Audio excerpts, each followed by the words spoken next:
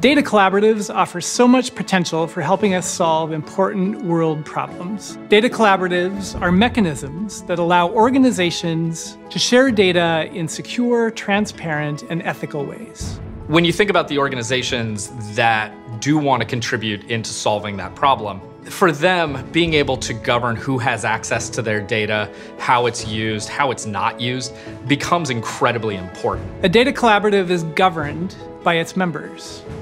And sometimes data collaboratives include independent third party organizations that help ensure the data collaborative is indeed sharing data in ways that abide by the transparency, security, and ethical guidelines. We have an opportunity with a data commonwealth to really build confidence in each of the participating organizations that their data is going to be used in the way they intended. And the legal process of developing the contracts around the commonwealth play a large role in setting those expectations.